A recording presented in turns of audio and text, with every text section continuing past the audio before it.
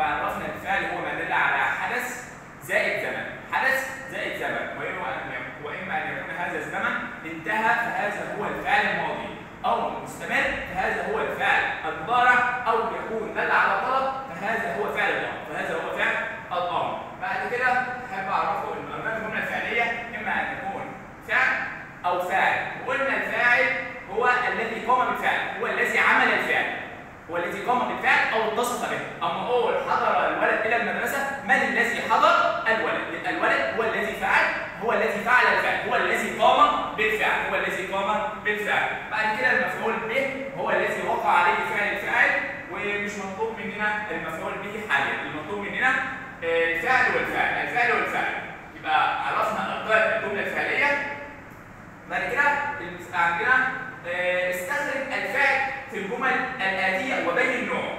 عايز منك إنك تستخرج الفعل في الجمل الآتية وتبين لي النوع. ولسه قايل لك دلوقتي إن نوع الفعل يا إما ماضي يا إما مضارع يا إما أمر يا إما ماضي يا إما مضارع يا إما أمر أما أقول حضر الطالب إلى المدرسة حضر الطالب إلى المدرسة اذا نظرنا إلى الفعل حضر فسوف نرى ان الزمن قد انتهى فهذا هو الفعل الماضي يشرب الولد اللبن يبقى هنا حضر الطالب إلى المدرسة آه الفعل هو حضر ونوعه هو فعل ماضي لأن الزمن قد انتهى طيب اما أقول يشرب الولد اللبن يشرب هو فعل مضارع لأن الفعل لسه مستمر الولد لسه بيشرب الولد لسه بيشرب. أما أقول تذهب إلى المدرسة تذهب فعل تذهب هنا هي الفعل.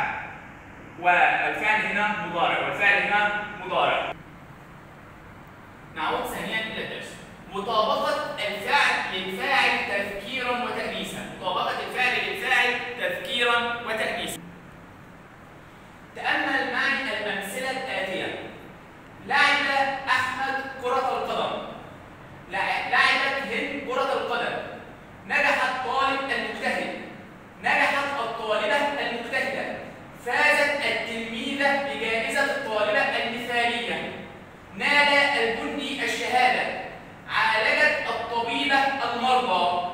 يدافع الضابط عن أرضه.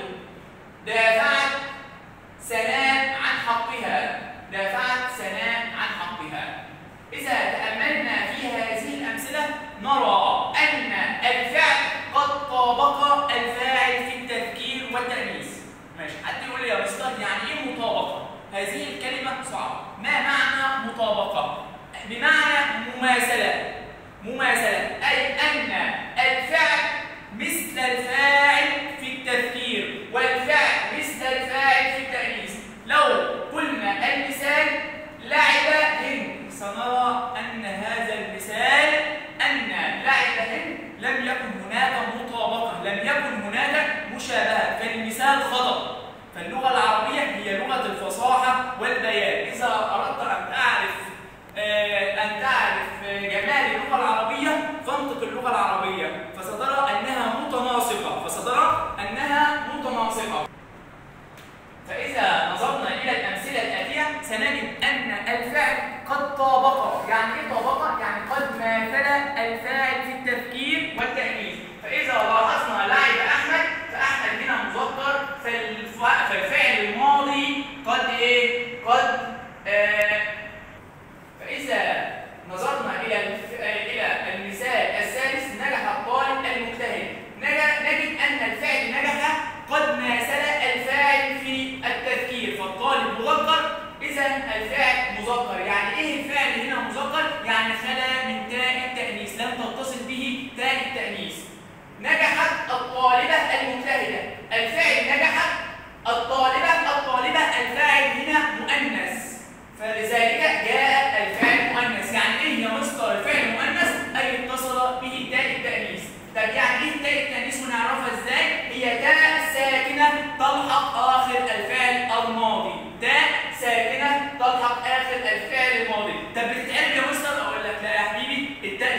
الخارج التاء دي لا محل لها من الإعراب. هي جاية بس عشان تعرفني إن الاسم اللي جاي بعدها مؤنث جاي بعد الفعل مؤنث. أما أقول فازت التلميذة بجائزة الطالبه المثالية. يبقى فازت التلميذة يبقى التلميذة هنا مؤنث فالفعل جاء مقترن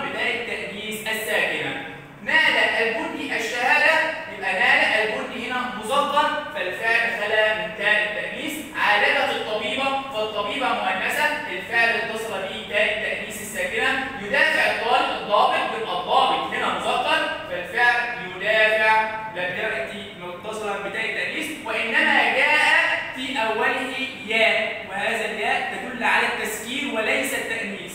هنقول دافعت سناء يبقى سناء هنا مؤنثه فالفعل اتصل به تاء التانيث الساكنه فالفعل اتصل به تاء التانيث الساكنه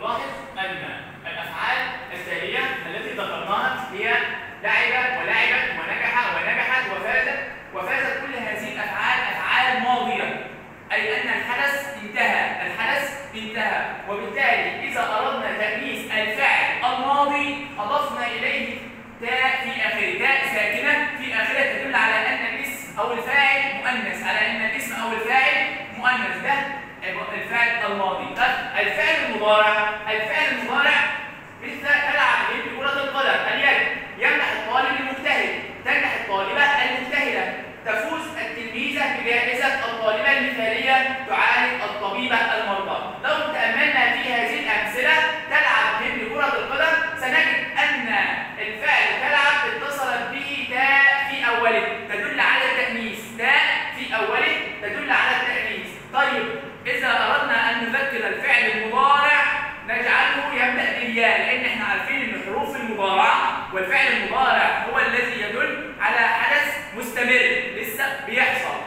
لو ينتهي بعد إذا انتهى الفعل المضارع أصبح ماضيا الفعل المضارع المستمر لابد يا إما أن يكون آه بادئ بالتاء أو بالياء أو بالألف والنون إنما اللي معانا بالتاء والياء التاء والياء لأن الألف والنون الفاعل يكون ضميرا مستترا فالفاعل الظاهر اللي معانا يا اما ان يكون الفاعل المضارع بادئا بالتاء اذا كان الفاعل مؤنثا واما ان يكون بادئا بالياء اذا كان الفاعل مذكرا فاقول تلعب هند كرة اليد فلو قلنا فلو قلنا يلعب هند لكانت الجمله خاطئه خاطئه وغير صحيحه فلا بد ان ناتي بالتاء اذا كان الفاعل مؤنث في الفعل المضارع تدريبات على الدرس بقول اختار الإجابة الصحيحة مما بين القوسين اختار الإجابة الصحيحة نقط الفلاح الأرض يزرع ولا تزرع ولا زرعت؟ يبقى الفلاح الأرض لو تأملنا في الفاعل سنجد أن الفاعل مذكر. سنجد أن الفاعل إيه؟ مذكر. وذكرنا أن الفاعل إذا كان مذكرا فإن الفعل المضارع يبدأ بإيه؟ يبدأ بالياء. يبقى يزرع الفلاح الأرض. يزرع الفلاح الأرض. الطبيب المرضى. إذا تأملنا في المثال فنجد أن الطبيب مذكر. أن الطبيب مذكر وعرفنا أن الفعل الماضي الفعل الماضي إذا جاء فاعله مذكرا فإنه لن يتصل به تاء لا تتصل به تاء في أوله ولا في آخره. يبقى هنا ليه؟ يبقى عالجت وعالج ويعالج. يبقى هنا عالج الطبيب المرضى أو يعالج الطبيب المرضى. المعلمة الدرس المعلمة الدرس. فعندنا المعلمة مؤنثة. المعلمة مؤنثة. فعندنا الاختيارات شرح وشرحت ويشرح. يبقى إحنا عندنا عرفنا إن الفاعل إذا جاء مؤنثا فان الفعل مؤنث. وعرفنا إن الفعل الماضي يكون مؤنثا إذا اتصل به تاء الإيه؟ التانيث يبقى شرحت المعلمة الدرس. وبهذا نكون انتهينا. من شرح مطابقه الفعل للفاعل تذكيرا وتانيثا.